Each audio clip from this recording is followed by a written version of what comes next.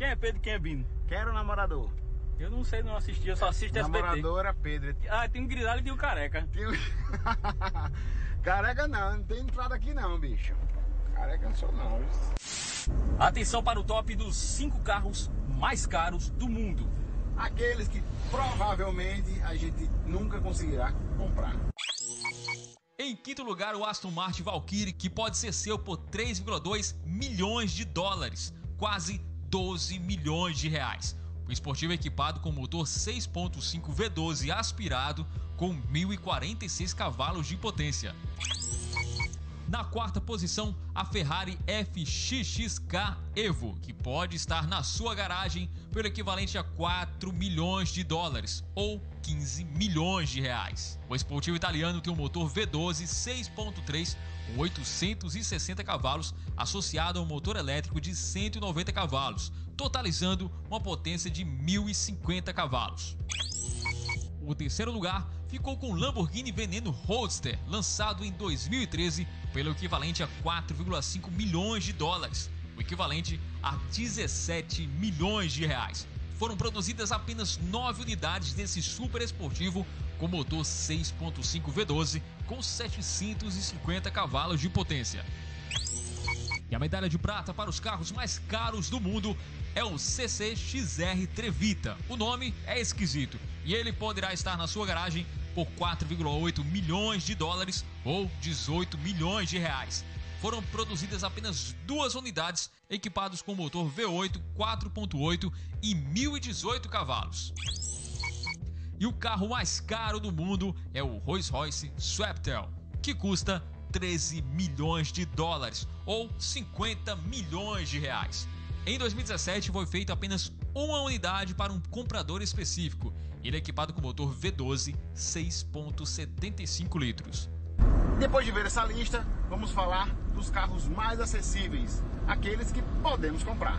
É isso aí, tá começando agora o Auto Play. Quer dizer, daqui a pouco, né? Já já. Depois da vinheta. Solta aí, editor.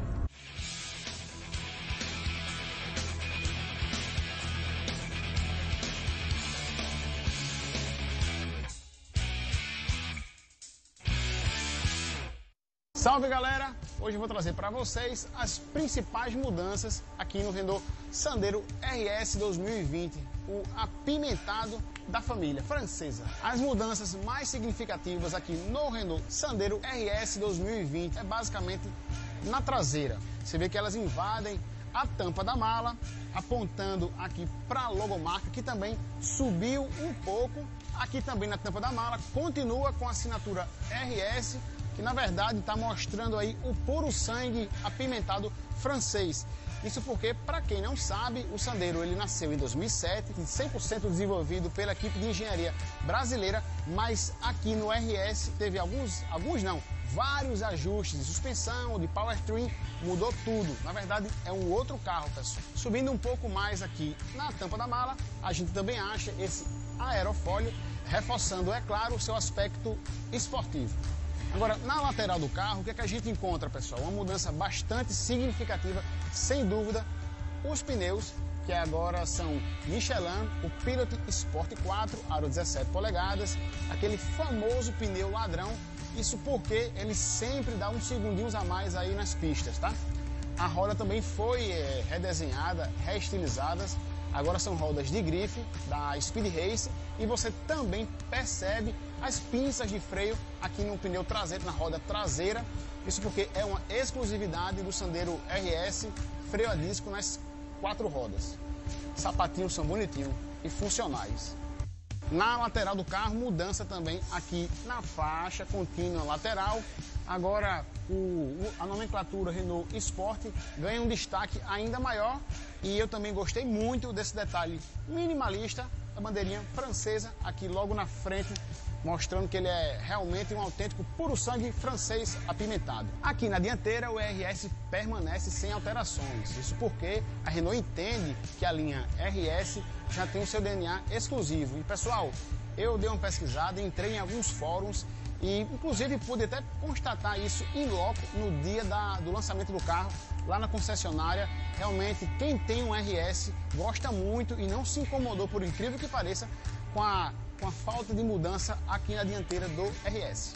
Aqui embaixo desse capô a gente tem um motor 2.0 F4R, que é base do motor do Clio 3RS lá na Europa e equipa também a Duster 2.0 aqui no Brasil. Agora vamos conhecer o Sandero RS lá dentro.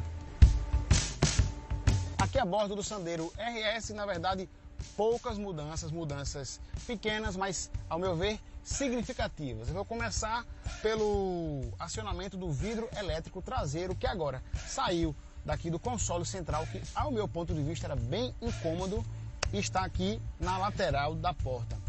Outro detalhe também aqui na lateral da porta é esse detalhe aqui simulando uma fibra de carbono, um detalhe acolchoado que também dá uma sensibilidade bem melhor para quem está aqui a bordo do carro e traz também um acabamento um pouquinho mais evoluído, com certeza. O interior do Sandero RS permanece escurecido, os bancos também continuam o mesmo, ah, com detalhe RS aqui no banco, um detalhe bem bonito, muito bem acabado. Essa lateral do carro que abraça você é realmente um detalhe bastante icônico aqui do Sandero RS. O pessoal realmente adora muito. O volante continua o mesmo com a assinatura RS, dando aquela assinatura esportiva aqui. A base é levemente achatada. Outro detalhe bastante importante que eu também não comentei é sobre a segurança. O carro ganhou aspectos melhores aí de segurança, agora saindo dos obrigatórios dois airbags frontais para quatro airbags. O carro também ganhou com um reforço no monobloco do carro, dando assim mais segurança, cinto de três pontos para todos os ocupantes e também encosto de cabeça para todos os ocupantes. A central multimídia também ficou mais tecnológica, agora com compatibilidade com Apple CarPlay e Android Auto. Inclusive, eu percebi uma melhora muito significativa no touch dela. Ela ficou muito mais intuitiva e bem mais rápida, essa Media Nave Evolution. Agora, Mário Sérgio, é contigo. Eu quero saber um pouco mais sobre o novo Sandero Stepway, que eu sei que ele está com uma família nova com licença, porque eu vou me divertir um pouquinho. Ele é de família francesa, mas nasceu aqui no Brasil em 2007 e agora chega a linha 2020 com novidades no visual, mais tecnologia, mais segurança e também novas versões. Hoje vamos acelerar o Renault Sandero 2020. E o Renault Sandero, o Logan e também o Stepway ganharam algumas novidades no visual da dianteira, como o novo conjunto ótico que agora também conta com essa assinatura em LED em formato de C, são formatos de 2 Cs que deixam o visual alinhado com a nova identidade visual da Renault. A grade também ganhou novos elementos, inclusive ó, esse filete cromado que liga aqui esse elemento do conjunto ótico. O para-choque também é novo, tanto para o Logan quanto para o Sandero quanto para o Stepway. Aqui tem moldura cromada no farol de neblina e esse novo aplique cinza aqui para ajudar no ângulo de entrada. Aqui na lateral tem novas rodas de 16 polegadas com acabamento diamantado e cinza. Repetidor no retrovisor, rack no teto, que não é um rack cenográfico, ele serve sim, é funcional. Mas a grande novidade mesmo do Sandero 2020 é a nova traseira que conta com essas novas lanternas que invadem a tampa do porta-malas e apontam para o logotipo da Renault. E se você acompanha os recentes lançamentos do mundo dos automóveis, não só do Brasil, mas também de todo mundo, deve ter percebido uma certa semelhança essas lanternas com a lanterna de outro carro, né? É isso mesmo, o Renault Megane, claro, né? A traseira do Sandero 2020 foi inspirada no Renault Megane vendido lá na Europa, como você está vendo nessas imagens agora e tem essa assinatura em LED que deixou toda a traseira, o desenho da traseira alinhado com a nova identidade visual da Renault. A tampa do porta-malas é nova e agora aqui, ó, no diamantezinho da Renault, o logotipo da Renault, você aperta aqui e já tem acesso ao porta-malas, que, diga-se de passagem, é maior do que o dos seus principais concorrentes. A câmera de ré desceu aqui, ó, para cima da placa. E agora nós vamos ver as novidades lá do interior.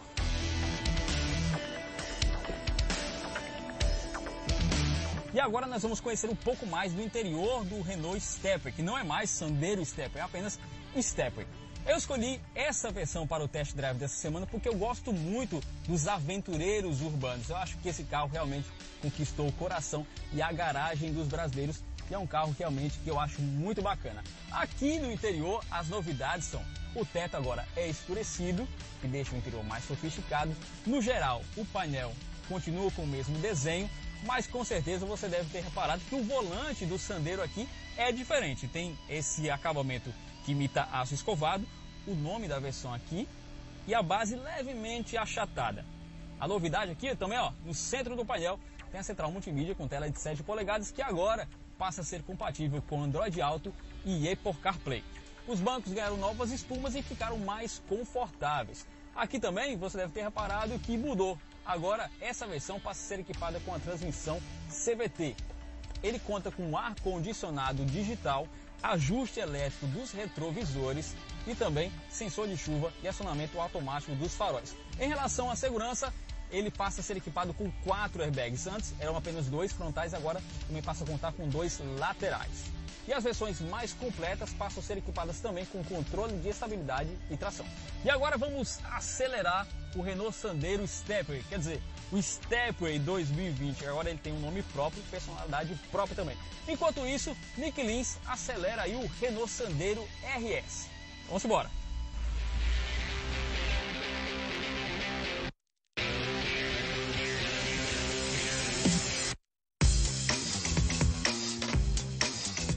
Agora saindo um pouco mais da teoria e indo para a prática, porque é realmente aqui no cockpit que as coisas acabam ficando muito mais interessantes. Mário, é notório como o conjunto aqui no Sandero RS está muito bem acertado. A relação de marcha, por exemplo, esse escalonamento aqui ficou, ao meu ponto de vista, muito visceral, muito gostoso de guiar. A terceira e a quarta marcha curta, quando você precisa de um torque, de um desempenho, o carro desenvolve bem.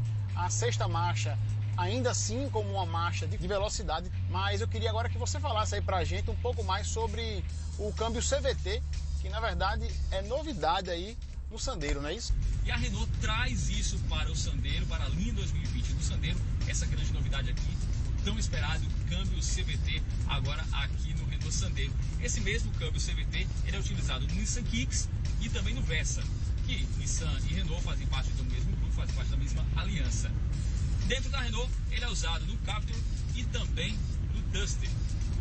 Diferente do câmbio automático tradicional, você não escuta a troca de marcha, não tem aquele gasgo que geralmente os câmbios automáticos e automatizados têm e causa até um certo incômodo. Você está dirigindo e de repente, pá, aquele engasgo que dá nas trocas de marcha. Aqui o câmbio CVT ele tem relações infinitas de marchas, então isso realmente leva conforto para o condutor. E eu acho que ele casou muito bem aqui o câmbio CVT com motor 1.6 aqui no Sandero.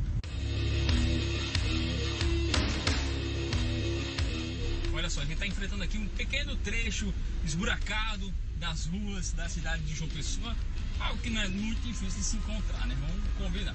É um hatch compacto, porém com suspensão elevada, nem com pneus diferenciados em relação à suspensão normal.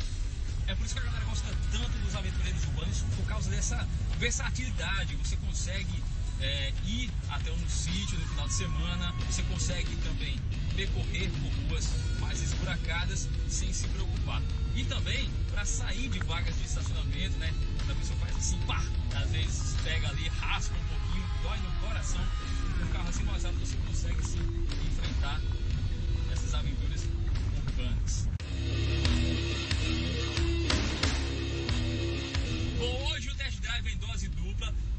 Aqui no Renault Stepway, a versão aventureira do Sandero, esse aventureiro urbano. E meu amigo Nick Lins está tirando onda no Sandero RS, equipado com motor 2.0. Fala mais um pouquinho pra gente, Nick, sobre esse carro. Esses pneus Pilot Sport 4 caíram também como uma luva aqui no Sandero é, RS. Na verdade, acho que a analogia melhor seria como uns belos sapatos. Eles realmente acabam agarrando o carro ao solo. Para simplificar tudo, o Sandero passa a ter novas versões, as mesmas do Quid, Life, Zen Intense. E também tem a versão icônica, exclusiva para o sedã Logan e também para o Stepway, que é o carro que nós estamos acelerando hoje. Nick Lins, meu amigo, conta mais pra gente aí sobre o Sandero RS. O carro é espetacular, não é não? A bancada que também possui essa aba lateral, acaba agarrando aí o condutor a, ao veículo e a pegada desse volante também deixa tudo mais satisfatório. Ironia do destino, eu estou a bordo do Sandero RS, a versão apimentada do Sandero, e estou atrasado no nosso destino final com o Mário Sérgio. Meu amigo, não é por falta de desempenho, é porque eu vou pegar o caminho mais longo e testar um pouco mais é, essa versão apimentada do Sandero RS.